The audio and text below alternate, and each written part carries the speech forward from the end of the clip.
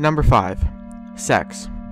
The picture you're seeing on screen, I'm sure most of you have seen, it looks like it says sex, but it actually doesn't. It says SFX, which is a little signature that the animation team left in the movie.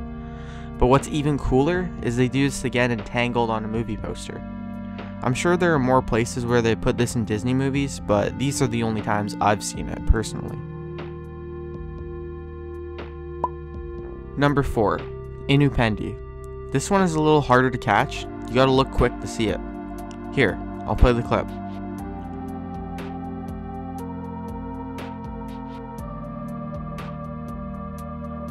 See where the coconut fell?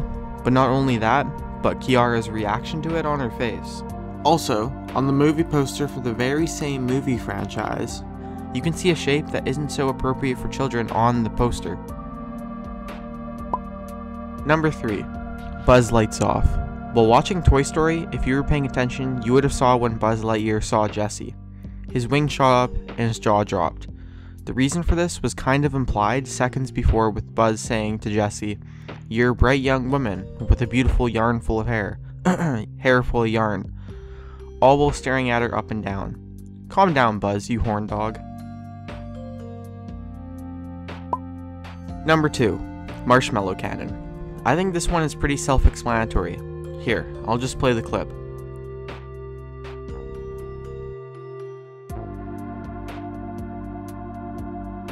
It's pretty messed up.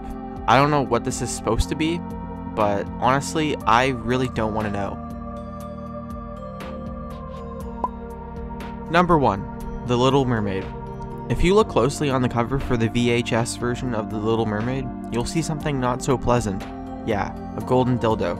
Apparently, it was drawn by an angry employee who had been laid off. Way to get back at your boss.